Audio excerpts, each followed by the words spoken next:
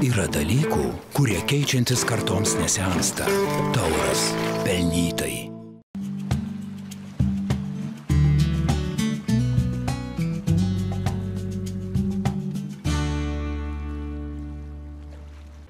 Sveiki, Delfi TV žiūrovai. Jūsų ekranuose žvejybos ir aplinkosaugos aktualijų laida Kablys LT ir aš laidos vedėja Aistė. E, šiandieną kalbame iš ties labai vasarišką temą. E, daugelis jau turbūt suplanavo atostogas ir, kel, ir ketina keliauti prie jūros, kur na, smėlis, poilsis, e, bangos. Ir šiandieną domimės, kokiasgi galimybės turi žvėjai pasilinksminti prie Baltijos jūros ir kalbiname žvejybos nuo jūros kranto entuziastą Darių Parnarauską. Jis yra ne tik jūrinės žuklės nuo kranto entuziastas, bet taip pat ir vieno iš jūrinės žuklės varžybų Baltic Challenge organizatorius bei klubo vienam gale kablys narys. Sveiki, Dariau. Gerą dieną. Tai pirmiausia, pradėkim, kiek metų jau žvėjoji jūroje nuo kranto ir kiek laiko apskritai skiri šiai žūkliai? Mm, turbūt jau suėjo, suėjo turbūt kokie 20 metų, kada jau pradėjau žvėjoti jūroje nuo kranto. E, skirti, aišku, tam, tam žūklės būdui norėtųsi laiko ir daugiau, bet tik tiek, kad aš kaip pats kaune gyvenu, nu, biški yra toloka. Nuvažiuoti į vieną pusę, į kitą pusę keletą šimtų kilogramų kilometrų, tai bent stengiuosi metus kokius, nu, 3-4 kartus pažvėjoti jūrai. Nes prie jūros nuvažiavus norisi tik ties jūrinės žuklės. Kasgi būtent šiame žuklės būdė yra tokio žavaus, kad, na, kaip ir pats sakėt, kartais gali, galima važiuoti net ir keli šimtus kilometrų vien tik tai dėl žvejybos?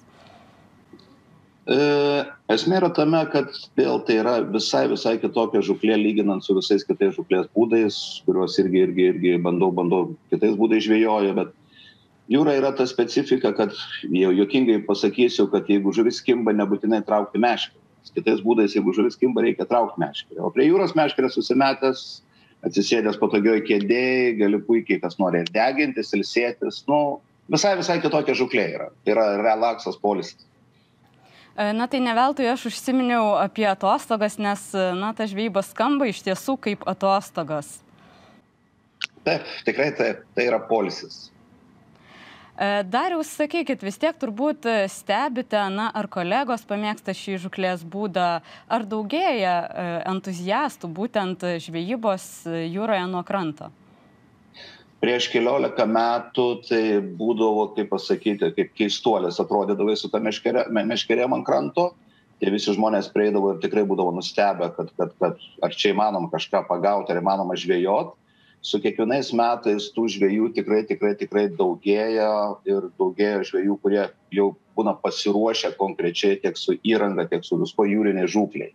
Tai tas būdas tikrai tikrai populiarėja juo labiau kad nu ir daug daug daug žuvies galima pagaut šiaip daugelis žmonių vat mato žvejus palangoj nuo tilto žvejoja bet tai na ne ta žūklė yra nuo kranto nuo kranto vis tiek yra įdomesnė linksmesnė ir malonesnė žūklė Daug metų organizuojate ir varžybas. Sakykit, ar dalyvių varžybose po truputėlį daugėja, renkasi, ar na skaičius išlieka panašus?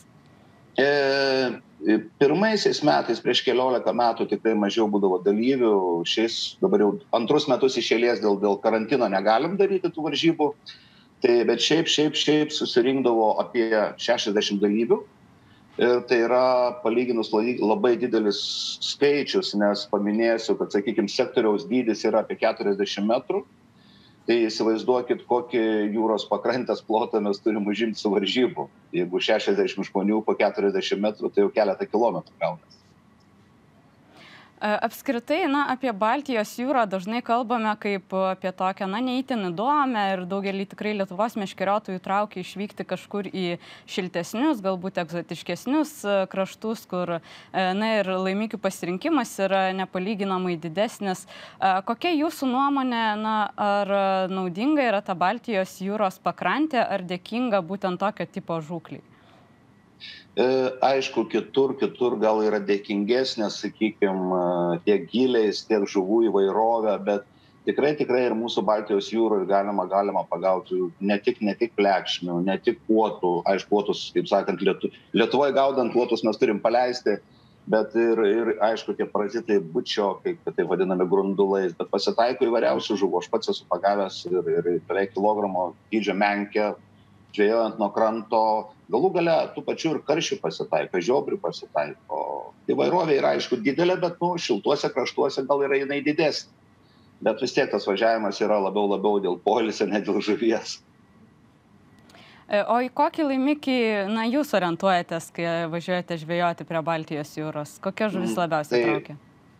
Pagrindas, pagrindas tai yra plekšnės ir tie vadinami bičiokai grundulai. E, aišku, būna gegužės mėnesį, sakykime, būna, būna, būna, kai vėjažuvės atėjusios dar yra kažkiek orientuojasi, orientuojame sistemom į vėjažuvės, bet pagrindas tai yra plekšnės, plekšnės ir grundulai. Ar sugautą laimikį paleidžiate, kaip na, dabar mūsųse labai populiaru, ar vis dėlto turite sugalvojęs na, kokiu nors e, kulinarinių įdomybių, kaip skaniai paruošti sugautą žuvis?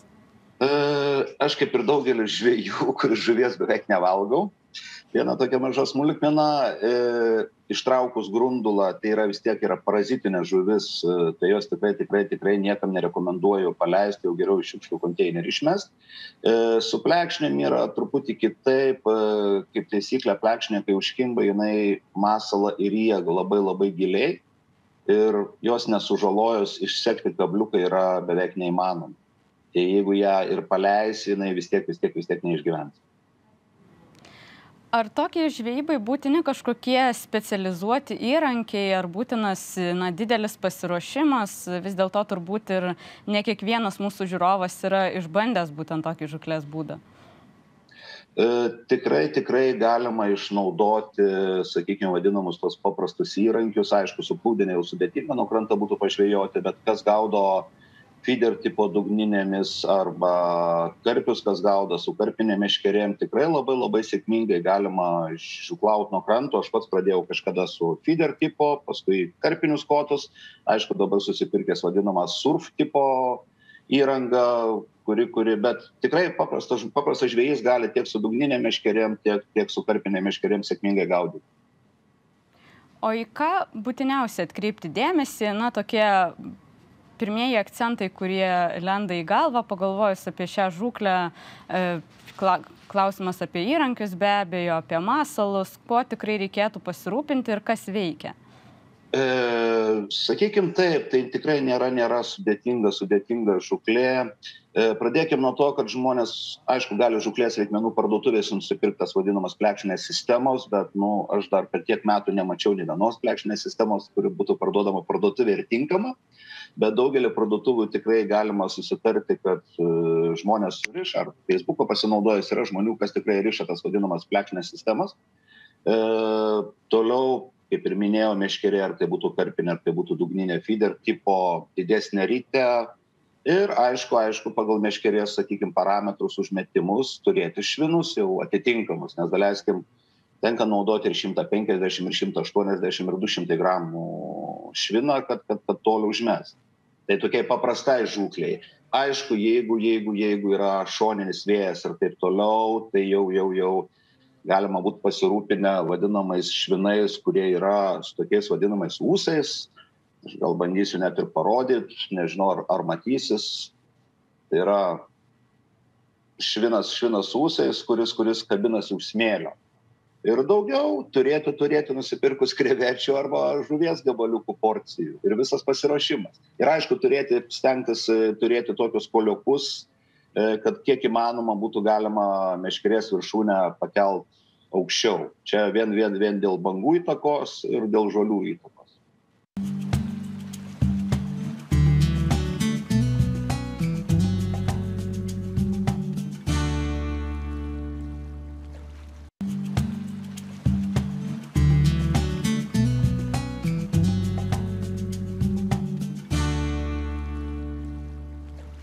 Ar turite darių pajūryje nusižiūrėję savo mėgstamiausias vietas, kur, na, tikrai, jeigu ten atvyksi, neprašausi? Ir galbūt, na, kaip pasirinkti tą atkarpą, kur didesnė tikimybė ką nors sugauti? Mm, daugelį metų mes važiuojam ir, kaip minėjot, mes organizuojam Baltic Fishing Challenge varžybas, jos tuo pačiu yra jūrinės žuklės Lietuvos čempionato pirmas etapas. Daugelį metų mes tai darom patys viena iš pagrindinių priežasčių, kodėl mes darome papėje, čia yra Latvijos teritorijos, sakykime, šalia Lietuvos, tai yra laukiniai pležai ir kaip minėjau, jeigu varžybose reikia surasti 2-2,5 km ruožą, nepasakysi žmonėm, kad jūs pasitraukit, nesimaudykit ir nesidegit. Vienas dalykas, Latvijoje, Latvijoje, Latvijoje yra truputį, truputį ir gyliai kitokie, didesni, aišku ir pas mus persikėlus į neringą prie nidos tikrai tikrai irgi yra labai labai neblogų vietų. O kaip pasirinkti tą žūklę kaip taisyklė sakykim jeigu važiuoja žvejys su šeima atostogauti tai tas pasirinkimas jau yra mažas. E, jeigu eiti šalia kaip sakant žvejoti tai visų pirma yra pats paprasčiausias variantas saulėtą dieną užsilipt ant aukščiausios kopos kokia yra šalia ir bandyti pasižiūrėti kur yra tamsesnis vanduo kur ma matytųsi didesnis didesnis gylis. Aišku tas prie mūsų priekrantėj tas didesnis gylis ir už už už dviejų šimtų metrų gali būt tais du metrai bet tai vat nu pagal tokią bet svarbiausia reikia bandyt bandyt bandyt ir tikrai bus galima pagauti ir rasti tą vietą kur kur kimba e, Na, bet vis dėlto, kaip suprantu, e, geresnė, tikrai palankesnė vieta šiai žvejybai yra Latvijos krantai, e, ne Lietuvos. Ir, ir, ir neringoj. Persikėlus į neringą prie preilos pervalkos prie prie nidos irgi galima bet vėl tai yra reikia keltis su keltu tai mes aš kaip ir minėjau kai mes ten organizuojam varžybas jau ten įpratę jau. Bet kiekvienais metais vėl tos vietos nėra jūroj tokia tokios taisyklės kad jeigu vienais metais toj vietoj labai gerai kibo ir kitais metais kibs nes kiekviena banga kiekviena audra padaro savo duobes savo darbą ir tos vietos vietos skiriasi kokiu paros metu geriausia išsiruošti į tokią žvejybą? Ar teisybė, kad vis dėlto geriausia kimba nakčia? E, yra, yra, yra tiesos, kad sutemose tikrai, tikrai, tikrai geriau kimba, bet ir kaip minėjau, yra toks labai paprastas dalykas. Dienos metu, jeigu yra daug pulsiautojų besideginančių, tai yra saliginai ir pavojinga žvejoti o tamsiu paros metu tai ir tikrai tikrai tikrai ir ir ir tos vietos daugiau yra ir žuvys arčiau ateina ateina prie kranto bet tiek dieną tiek tamsiu paros metu labai daug kas priklauso nuo vėjo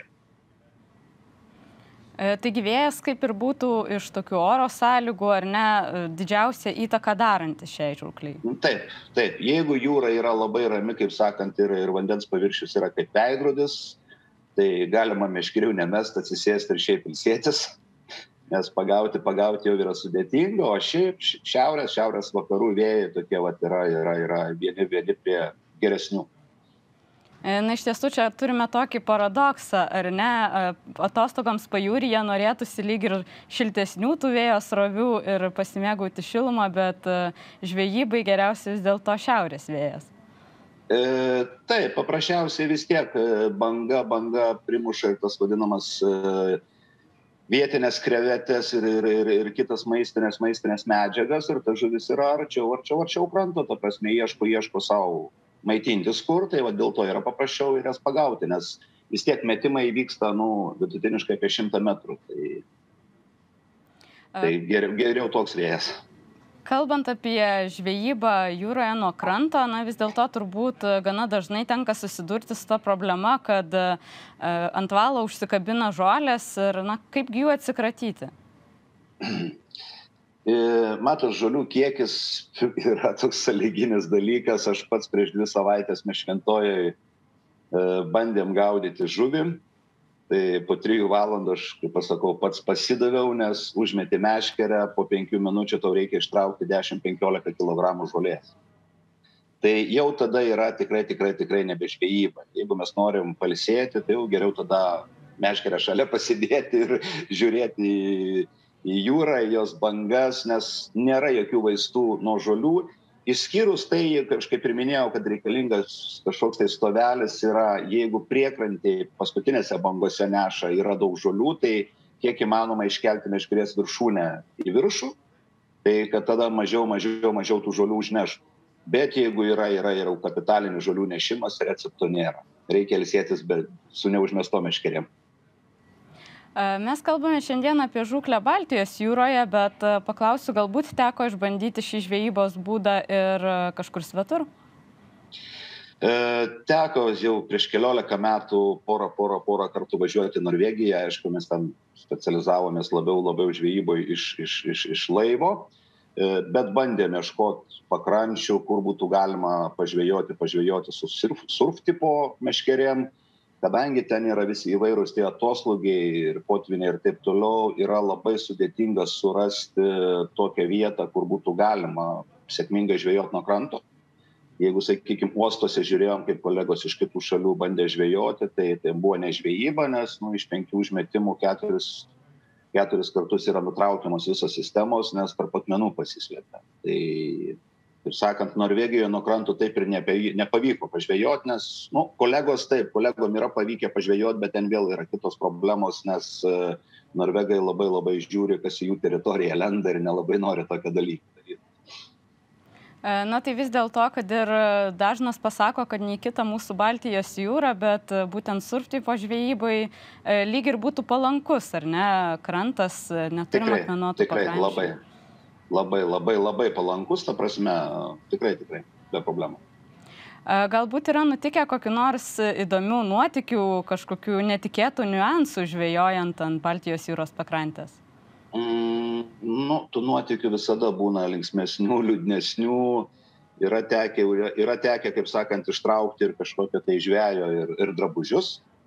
Aišku, tikėkime, tai, tai tas žvėjys tik šiaip tos drabužius buvo įmetę. Yra tekę traukti ir, ir vieno priekybos centro didelį maišiuką pilnu vandens, nors jau tai buvo pagalvota, kad tai yra svajonių žuvis, nes patraukti buvo sudėtinga na ir kaip minėjau yra yra yra yra tekę kilogramo dydžio menkę ištraukti čia gruodžio net trisdešim pirmą tai pasižiūrėjus į kibimą tai tikrai tikrai pagalvojom kad lašiša ar šlakis kimba bet o šiaip visada tų būna anekdotų kai ištrauki sakykim sistemos yra naudojamos su trim kabliukais o plekšnė ant tiek alkana kad viena žuvis visus tris kabliukus suryja į gerklę E, na štai ir ta vaikiška dainelė Palangos jūroje nuskendo mano kelnes įgyja visai naują prasme, ar ne, ištraukus drabužius. Taip, taip.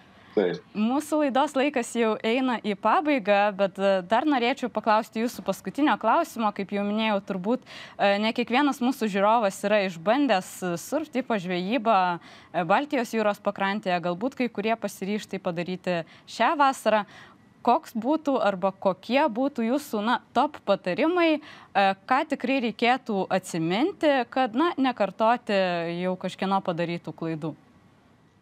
E, prieš važiuojant, aš kaip ir minėjau, galima sistemėlės e, nusipirkti parduotuvėse, e, bet ten nelabai išrandu tų tinkamų. Tai visų pirma, turbūt pačiam nepatingėti, pasidomėti internete, pasižiūrėti ir susirišti tas, sakykime, vadinamas žvejybinės sistemėlės, kurios labiau labiau orientuotos yra mūsų žuviai, tai vien dėl kabliukų dydžio, aišku, pasiruošti rimtų, rimtų švinų, svorių ir kažką susigalvoti su stovu, kad tą meškerę iškeltų, iškeltų aukščiau virš vandens, kad mažiau įtakos.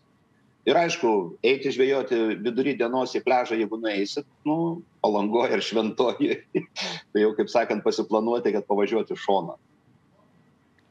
O pats dariu, gal pasidalinsit savo žvejybiniais planais, kur planuojate dar šią vasarą nulėkti pažvejoti? E, jūra tai tikrai, nors prieš porą savaičių buvom, bet, bet, bet, bet lauksim, gal atsidarys tas burbulas, kad nuvažiuoti į papę, pažvėjot, e, tas jūrinę žūklę, o daugiau, daugiau, kaip pasakyti, propaguoja visas žūklės rušis išskyrus muselinę, tai tų planų yra daug, tikrai laikas surasti, noro ir galimybę. E, na tai tikiuosi, kad susitiksime su jumis prie jūros, sutiksime kur nors bežvėjojantį. E, na, o aš, mėly žiūrovai, su jumis atsisveikinu iki kitų susitikimų. Ačiū Jums dar už pokalbį, tikiuosi, kad jis tikrai buvo naudingas ir mūsų žiūrovai sužinojo naujų dalykų ir galbūt netgi e, pasiryš išbandyti šią žrūklę patys. E, na, tikrai nebijokite, visada smagu surasti e, naują užsiemimą, pažvelgti į viską kitų kampų, jo labiau, kad, na, vis dar turėsime turbūt vasarą, kai ne visi iš mūsų galės iškeliauti kur nors į egzotiškesnius krantus, pažvėjoti egzotiškesnius egzotiškesnių laimikių, tad e, tai tikrai puikia proga susipažinti su tuo, ką gali pasiūlyti mūsų Baltijos jūra. O aš atsisveikinu su jumis iki kitų susitikimų Kablys LT laidose. Iki.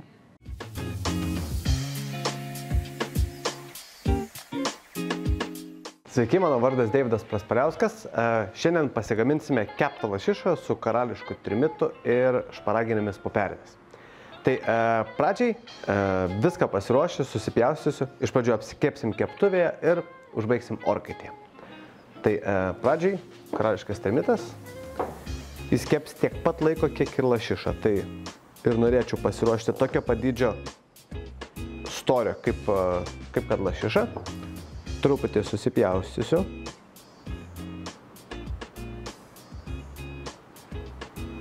Tada viską truputėlį pasimarinuosiu. Alyvų galėjus.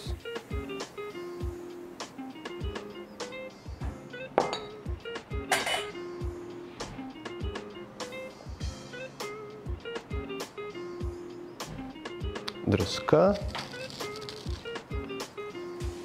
Ir pipirai. Įsikaitinsiu keptuvę, pasiruošiu šparaginės papilės ir pradėsiu kepti.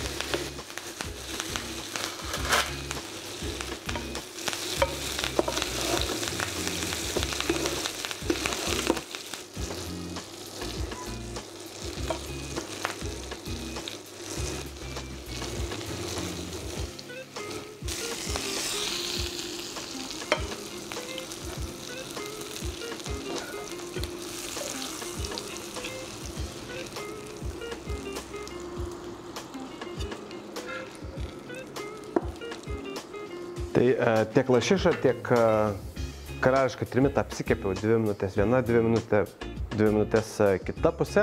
Pašausim į orkaitę 5 minučių ir turėtų būti paruošta.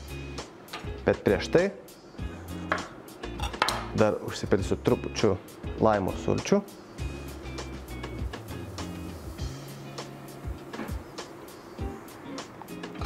Ir tai, su kuo kepiam keptuvėje, tiesiog išdėliosiu kartu, kad paskanintų mūsų patiekalą.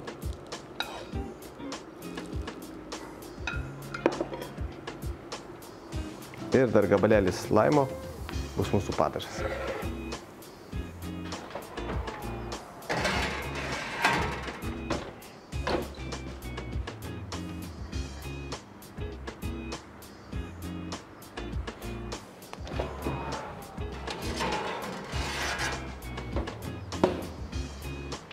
Taip, traukiam lauk. Ir turim karališką trimitą. Su lašiša.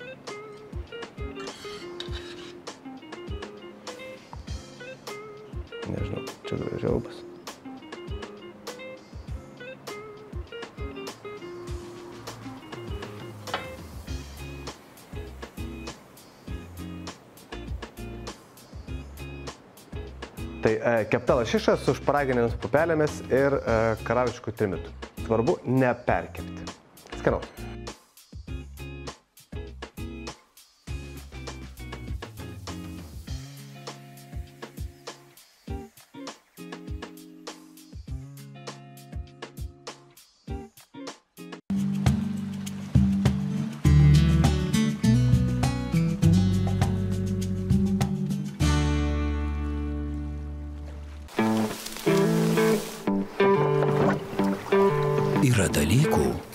Keičiantis kartoms nesensta. Tauras. Pelnytai.